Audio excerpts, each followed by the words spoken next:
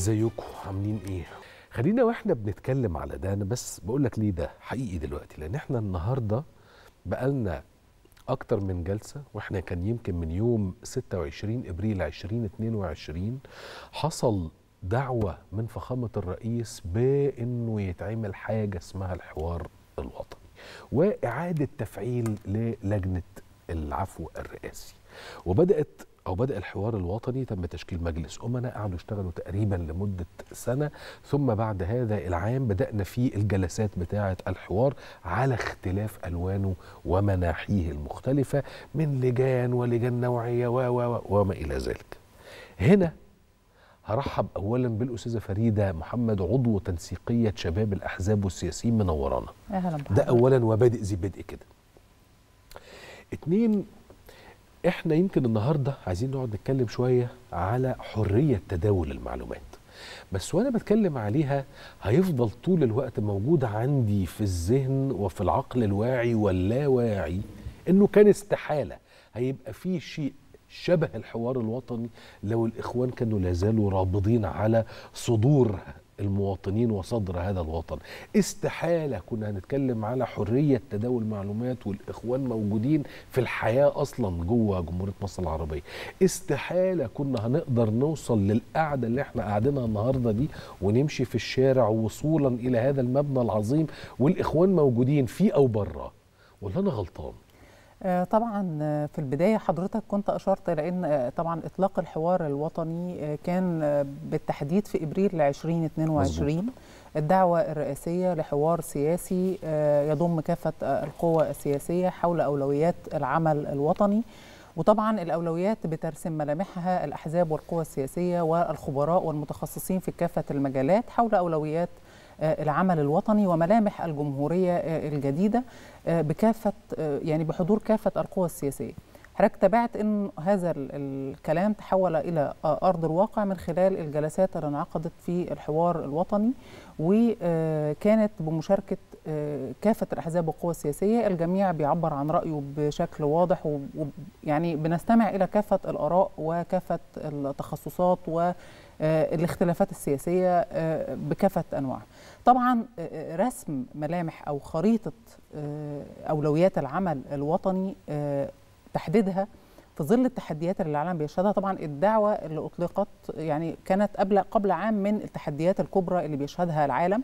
لكن أما وإنه طبعا حدث مستجدات في العالم ونحن جزء من هذا العالم بنتكلم على خريطة عالمية جديدة تتشكل بنتكلم على إنه هذه الخريطة السياسية الجديدة التي تتشكل واللي بتؤثر وتؤثر يعني بنتأثر بها وتؤثر في العالم كله هينتج عنها طبعا نظام عالمي جديد. بنتكلم على خريطة يعني قد يكون هناك نظام اقتصادي جديد وبالتالي الحوار الوطني حينما تمت الدعوة لم يكن أو لم نكن نشهد كل هذه التحديات اللي بيمر بها العالم الآن بنشهد تحديات جديدة بتغير ملامح الخريطة العالمية بتغير يعني في ظل الاستقطاب والصراعات بين القوى الكبرى وطبعا ما يحدث سياسيا واقتصاديا بطبيعة الحال بيؤثر على الدولة المصرية. الحوار الوطني طبعا بيتضمن ثلاث محاور رئيسية وهامة جدا، المحور السياسي والمحور الاقتصادي والمحور المجتمعي. بالنسبة للمحور السياسي شهدنا أو شهدنا خلال المرحلة السابقة خلاف خلافات حول النظام الانتخابي الأمثل على سبيل المثال. آه وكان هناك استماع لكافة آراء القوى السياسية والأحزاب ما بين من رأى أن القائمة النسبية هي النظام الانتخابي الأمثل وبين من رأى أن القائمة المغلقة المطلقة هي الأنسب. وكل آه يعني فريق عبر عن وجهة نظره وشرح أولوياته. الفريق اللي مع النظام القائمة المغلقة المطلقة أشار إلى إنه يجب تلافي أي عيوب دستورية. نتيجة أحكام سابقة قد صدرت قد تؤدي في النهاية إلى الطعن بعدم دستورية النظم الانتخابية المتبعة. الفريق المؤيد للقائمة المغلقة المطلقة أيضا أشار إلى أنه نظام القائمة النسبية قد يؤدي بشكل أو بآخر إلى تفجير الأحزاب من الداخل أو تفخيخها من الداخل نتيجة الخلاف حول من يتم وضعه في مقدمة القائمة ومن يتم وضعه في ذيل هذه القائمة. آه أيضا آه طبعا اللي طالبوا بالنظام آه النسبي كانوا بيشوفوا إن هو يعني هذا النظام يساهم في في تقوية الأحزاب.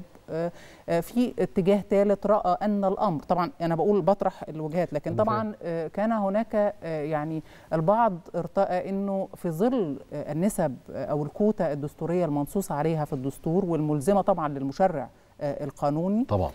وجب علينا أن نختار النظام الذي يساهم بالفعل في تمثيل كافة الفئات المجتمعية المنصوص عليها في الدستور وطبعا أنا عندي سبع فئات منصوص عليها في الدستور تبقى ممثلة جوه القائمة بالفعل. وبالتالي يعني الخبراء في مجال القانون والخبراء في المجال الدستور يعني ارتأوا إنه هذا النظام هو النظام الأنسب والأمثل. في النهاية طبعا أيضا كان في يعني حوار واسع وحضرتك أكيد تابعت حول انتخابات المحليات. وطبعا تشريع أو قانون المحليات كان شهد يعني حوار لسنوات يعني خلال الدورة البرلمانية السابقة طبعا. في لجنة الإدارة المحلية برئاسة النائب أحمد السجيني ويمكن أنا شاهدت يعني خلال حوار مجتمعي دار داخل مجلس النواب حول هذا التشريع بحضور قيادات تشريعية وقيادات تنفيذية وأيضا أحزاب وقوى سياسية متنوعة لكن هذا التشريع طبعا لم يصدر حتى الآن. في الحوار الوطني كان هناك مطالبات بسرعة يعني إصدار هذا التشريع. وأيضا كان هناك مطالبات يعني كان جدل أيضا حول النظام الانتخابي الأمثل وتطبيق وتطبيق وكيفيه تطبيق اللامركزية على أرض الواقع. الحوار حول النظم الانتخابية طبعا ده بيوفر مجهود كبير كان ممكن يحصل تحت قبة البرلمان لأن الحوار المسبق بينتج عنه حوار أو هو حوار مجتمعي مسبق حول طبعا. قوانين الانتخابات وأي قوانين بتدخل البرلمان هي بتخضع لحوار مجتمعي خاصة في القضايا التي بتثير الجدل أو بتثير الخلافات أو بتثير وجهات نظر متعددة. ويمكن المنسق العام للحوار الوطني حينما ثارت هذه الخلافات بين الأحزاب والقوى السياسية قال لهم بالنص أنه من الصعوبة بمكان إرضاء الجميع. ولكن في النهاية هدفنا الحوار للاستماع لكافة وجهات النظر وأيضا التوصل لنظام انتخابي لا يشكل أي مشكلة أو عوار دستوري أو قانوني ويمكن كان أيضا المستشار محمود فوزي طرح وجهة نظر قانونية لماذا تم الاستعانة بالنظام القائمة المغلقة المطلقة في الانتخابات السابقة في ظل التخوف من الطعن بعدم الدستورية؟ بس كده الحقيقة هو يمكن الواحد بيقعد يفكر وفكر ده يمكن بصوت عالي. قبل ما أروح على حرية أو قانون حرية تداول المعلومات الأحزاب الصغيرة هتصبح هي الأكثر تضررا من القائمه النسبية. بالفعل. لأنه قدرتها على المنافسة في ظل قائمه نسبية وقدرتها على عدم تخطي العتبة الانتخابية محدود جدا. هو ملهمش حل غير قوائم مغلقة مطلقة وتحالف انتخابي انهيه بعد ما تخش تحت القبة.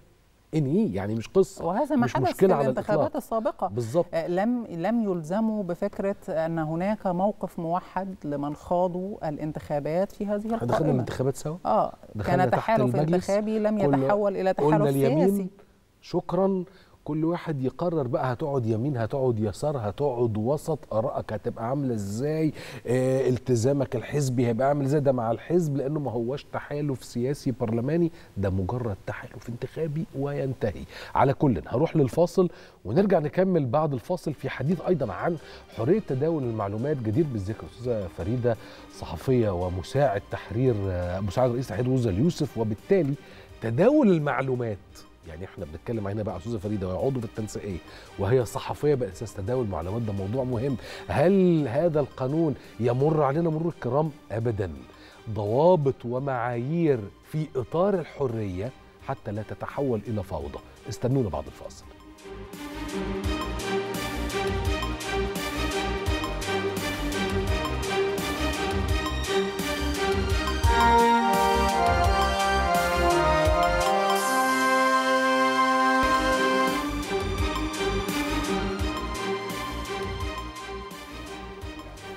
أهلا أهلا أهلا وسهلا بحضراتكم. كل الترحيب بضيفتنا العزيزة وزميلتنا العزيزة أيضا أستاذة فريدة محمد عضو تنسيقية شباب الأحزاب والسياسيين.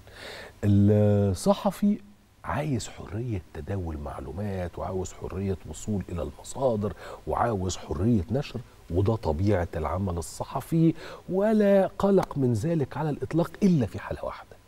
لو أنا فتحت البوابة على مصراعيها دون ضابط أو رابط دون الضوابط والقوانين والمعايير. وبالتالي مش هاخد رأيك في الحتة دي لكن إلى أي مدى ممكن توصل بينا المناقشات بتاعة تداول المعلومات؟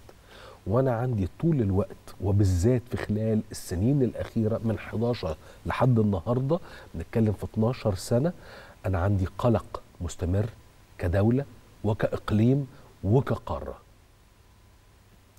طبعا آه، صياغة هذا التشريع آه، بالأساس بتخضع للمادة آه، 68 من الدستور. هذه المادة تنص على إيه عشان نقرأ النص للمشاهدين. يلا. إن المعلومات والبيانات والإحصاءات والوثائق الرسمية ملك للشعب والإفصاح عنها من مصادرها المختلفة حق تكفله الدولة وتلتزم الدولة بتوفيرها وإتاحتها للمواطن بشفافية. ثم تحدثت المادة الدستورية عن تنظيم القانون لهذا التش أو ت- تنظيم التشريع القادم أو الم... يعني المحتمل آه، أو تشريع المتوقع آه، أو الذي سيتم صياغته لهذا القانون آه، وينظم القانون ضوابط الحصول عليها مم. وإتاحتها يبقى هنا بنتكلم على ضوابط. ليست الأمور ليست مطلقة هناك تطلق. ضوابط هذا نص دستوري هناك ضوابط للحصول عليها وإتاحتها و- وسريتها لأن فكرة التوازن بين الإتاحة للمعلومات وبين المعلومات. ذات الطبيعة الخاصة طبعاً. وفكرة المعلومات ذات الطبيعة الخاصة دي طبعا زي ما حضرتك عارف إنه أي تشريع بيصدر هذا التشريع بيتم فيه وضع مجموعة من التعريفات لكل المفاهيم والمصطلحات الواردة فيه مم. حتى بشكل طبعا جامع مانع لهذا التعريف يعني ما مفهوم السرية على سبيل المثال وفكرة آه، يعني فكرة التوازن بين إتاحة المعلومات والمعلومات ذات الطبيعة الخاصة. ثم النص الدستوري قال إنه يتم أيضا تحديد قواعد إيداعها وحفظها والتظلم والتظلم من رفض إعطائها كما يحدد عقوبة حجب المعلومات أو إعطائها أو إعطاء معلومات مغلوطة عمدا. يبقى كمان في عقوبة على فكرة إعطاء المعلومات عمدا. ده موجود في النص المادة 68 من الدستور. حلو قوي طيب. أنا أقول لك على. حاجة في السريع كده آه، آه، هوضح بس نقطة آه. تانية إنه كمان إن الاستراتيجية الوطنية لحقوق الإنسان آه، أكدت على هذه الفكرة وهذه الاستراتيجية التي أطلقها السيد رئيس الجمهورية آه، آه، تحدثت أيضا عن فكرة آه، إصدار أو تبنت فكرة إصدار التشريع الخاص أو ت- يعني تكفل فكرة تداول المعلومات حضرتك ذكرت نقطة مهمة ليها علاقة بإنه القصة مش سداح مداح إحنا بنعيش فعلا في عصر في فوضى المعلومات وفوضى ال ال ال الشائعات أيضا في على سيولة. آه سيولة وفوضى فوضى أنا على وسائل التواصل الاجتماعي وغيرنا سواء إذا كنا أبناء مهنة الصحافة أو غيرنا من المواطنين شافوا خلال الثلاث أيام اللي فاتوا منشور باعتباره من البنك الأهلي وإنه في شهاده طلعت وفوائدها كذا ومدادها كذا وحدوتة بل إنه بعض الناس اللي هم عمليا ولاد الشغلانة دي واحيانا بعضهم مصرفيين صدقوا إن الشهادة دي موجودة. آه البعض وقع في الفخ بالفعل. وطبعا آه هنا أنا بشوف إنه آه، إتاحة المعلومات ليست فقط ضمان لحرية الصحافة والإعلام لكن إتاحة المعلومات بت يعني بتساعد على مواجهة الشائعات وإتاحة المعلومات بس في الوقت المناسب. لأنه في ظل السيولة اللي حضرتك ذكرتها وفي. ظل فوضى المعلومات والشائعات والأكاذيب على وسائل التواصل الاجتماعي إتاحة المعلومات بشكل مسبق والرد على الشائعات بشكل فوري وسريع بتضمن فكرة مواجهة أو بتضمن فكرة الجهود اللي بتبذلها الحكومة بعد كده عشان تكافح الشائعات لأنه أحيانا المسافة الزمنية بين إطلاق الشائعه والرد عليها آه، بيكون وقت طويل جدا فده بيخلي بيساعد على تكريس الصورة يعني أو أو الفكرة الخاطئة لدى المواطن حينما تصل له المعلومة الأخرى بيكون هو تعرض لفكرة الشوشرة أو فكرة إنه ما يقدرش يستوعب المعلومة الجديدة هو أو بلع الحباية آه. وهضمها ومشيت في جهازه آه، العصبي. وفي الآخر بقى الاتجاه الثاني م- مروج هذه الشائعة آه، بعد أن تنفي أو بعد أن تصدر المعلومة الدقيقة والصحيحة يخرج ليشكك فيك ليخلق حالة ده حالة- بيضحكوا عليك وده على ما ردوا آه. قعدوا ثلاث ساعات. بالظبط. فبعدين مش عارف إيه وبعدين يطلع بقى إيه مثلا واد زي الواد معتز وواد زي الناصر وبتاع هم ليهم حركات كده تمثيليه العيال دي كانت غالبا على نفسها تطلع ممثلين بس ما فلحوش. هم طلعوا بيمثلوا على مجتمعات بعد كده. ده بيرجعني لإيه بعد إذنك يا فريدة؟ إذا سمحتي لي أشيل الألقاب. أنا راجل ابن اتنين ولاد المهنة دي أبويا وأمي. فعلموني حاجة مهمة جدا من قبل ما أفكر أشتغل الشغلانة دي أصلا يعني وأنا في المدرسة. إنه أي معلومة أي معلومة تقراها تشوفها تسمعها دققها الأول. على أيامي مفيش إنترنت ولا بتاع الكلام ده ما كانش أصلا موجود. فتدققها وتقراها يعني ترجع للمصادر وتروح المكتبة وتشوف الجرايد وتجيب الكتب وكل القصة دي. بل إنه أبويا نفسه الله يرحمه وأنا ادعي ان أنا كنت الولد سر ابيه يعني. انه يقعد يتكلم في حاجة يقول لي وبالمناسبة ده لا نتكلم فيه ولا نتناقش فيه مع حد غيري أنا وأنت بس بس. حاجات مهمة متعلقة بمثلا أداؤه السياسي حاجات متعلقة بادائه الصحفي في مرحلة من المراحل إلى آخره. ده أنا وأنت بس. ليه؟ يقول لي ما ينفعش. أقول له ما ينفعش؟ يقول لي تشكل خطر. أقول له خطر على مين؟ قال لي مش بالضرورة على حياتي ممكن تبقى على حياتك ممكن تبقى على حياة آخرين. أنا المشكلة اللي عندي إنه أصبح الناس بتلاقي أي حاجة يروح ناشر. ما هي دي بقى مشكلة ال- الفوضى الشائعات. هو طبعا آه، يجب أن نؤكد على أنه المعلومات أو الأخبار أو الشائعات اللي منشور- المنشورة على وسائل التواصل الاجتماعي ويمكن آه، يجب أن يعني نوعي المواطنين م- ليس كل ما ينشر على وسائل التواصل الاجتماعي هو صحيح لأن هذه المنصات آه، ليست منصات لديها معايير آه، ولا مهنية ولا أخلاقية. وهي بيئة آه، خصبة للشائعات وللأكاذيب اللي هدفها بالأساس هو الإضرار بالدولة آه، المصرية آه، ويمكن لو بنلاحظ كم الشائعات اللي بتصدر سواء خلال الساعات اللي فاتت أو اللي قبلها أو اللي قبلها أو, اللي قبلها هنلاقي كميات مهولة جدا زي ما قلت لحضرتك فوضى معلومات ومعلومات مشوهة وهدفها التشويش والشوشرة على الدولة وبالتالي الحل إيه؟ إحنا الحل إيه عشان نواجه ده؟ فكرة الرد السريع على هذه الشائعات مم. توفير المعلومات والأفكار بشكل مسبق ويمكن آه، إتاحة المعلومات مش بس مفيد سياسيا هو أيضا مفيد في الملف الاقتصادي على سبيل المثال يمكن في الحوار الوطني أثناء آه، الجلسات الخاصة بالاستثمار والصناعة كنا بنسمع من مستثمرين ورجال الصناعة أنه نحتاج خريطة ومعلومات تتعلق آه، يعني. يعني خريطة ومعلومات تتعلق بهذا الملف إتاحة المعلومات الاقتصادية أو الخريطة الواضحة اللي بتمكنهم إن هم يمارسوا عملهم في مجال الاستثمار وإن عدم أو إن غياب المعلومات الاقتصادية هو بيضر بالاقتصاد الوطني. اشتري على الخبر بيع على الإشاعة. آه. أشهر حاجة تتقال في. أسواق المال والبورصة. بالظبط. فهنا آه، إتاحة المعلومة وس- وسرعة تداولها وخصوصا المعلومة الصحيحة مش الشائعة ده بيعزز آه، ال- الملف السياسي وبيعزز القدرات الاقتصادية إن أنت ما تبقاش عندك مشكلة آه، في الملف الاقتصادي لأنه طبعا الشائعات ال- اللي بتستهدف الاقتصاد الوطني آه، في النهاية هي مؤثرة عليك كدولة مصرية. وطبعا أكيد حضرتك شفت على ال social media وسائل التواصل الاجتماعي عدد كبير جدا من الشائعات سواء اللي بيخص الملف الاقتصادي أو الملف السياسي آه، سواء على المنصات آه، الخاصة بالجماعه الإرهابية أو على المنصات واللجان الإلكترونية اللي بتشتغل على منطق اللي هو التكرار وإعادة التدوير ونشر الأكاذيب وفكرة تكذيب المعلومات الدقيقة اللي بت بتنشرها وسائل الإعلام الرسمية لأن هو في الآخر هو بيدخل معاك في معركة هو بيدخل معاك في معركة وهنا المعلومة هو سلاح في هذه المعركة. يعني مم. المعلومة الدقيقة هي السلاح الوحيد في هذه المعركة وعدم الاستعانة بالمعلومة الصحيحة اللي هي السلاح في الوقت المناسب ده بيكلفنا كتير. تكلفته كبيرة جدا. صح. وبالتالي هنا إحنا محتاجين أيضا انه يكون في تغيير نمط السائد الخاص بتعامل البعض مع آه، ثقافة نشر المعلومات.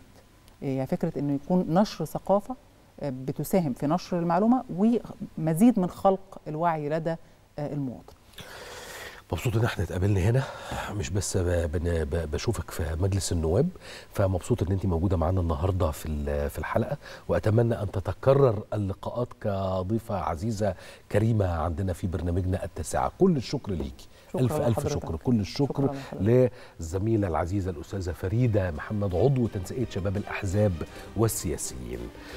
تصدق يا مؤمن. والله العظيم. جزء من الكلام اللي قالته الأستاذة فريدة ده ده هتلاقيه أنا أدعوك لقراءة كتاب مهم جدا والمفكر ده شيوعي اسمه جوستاف لوبون المهم يعني ده أهم مفكر علم نفس اجتماعي مو وجد على سطح الكرة الأرضية لحد دلوقتي. اقراه علشان تعرف أنت التلاعب بيتم بيك إزاي من قبل ناس زي الاخوان وأبواقهم وأراجوزاتهم وما إلى ذلك. فهنا هتوصل مثلا على سبيل المثال والله العظيم مش عشان أنا يعني. الفيديو المنتشر المتوارى ويوسف قال الدولار مش هيوصل 20 جنيه. حصل 2017 على شاشة ON TV لو ركزت ثلاث ثواني بس تلاقي logo ON TV كده. بس انت ما ركزتش. حقك عادي بتحصل يعني. الإخوان بيشتغلوك مفيش مشكلة. وهو وقتها الدولار وصل 20 ما وصلش. نزل ووصل لحد 15 ونص وصل. هو بقى اداها لك إمتى؟ لك في 22 فيحصل إيه؟ اضرب مصداقية يوسف سيبك منه دي المشكلة خالص. فرض اضرب مصداقية الإعلام المصري. يضحكوا عليكم. يا جماعة ده بيشتغلوكوا. مش إحنا اللي بنشتغل الإخوان اللي هاريينك اشتغالات خلصت الحلقة لحد كده. أسيبكم مع بعد ثواني وكريم رمزي واحتفالات واحتفاءات بالأهلي وانتصارات الأهلي وبطولات الأهلي. عقبالنا. قول قادر يا كريم. أهو كريم هناك أهو. وصل وصل وصل. ولابس كرافته وبدلة كاملة وجو عالي قوي. لو كان لنا العمر نقابلكم بكرة إن شاء الله في نفس الميعاد وبرنامجكم التاسعة. سلامات.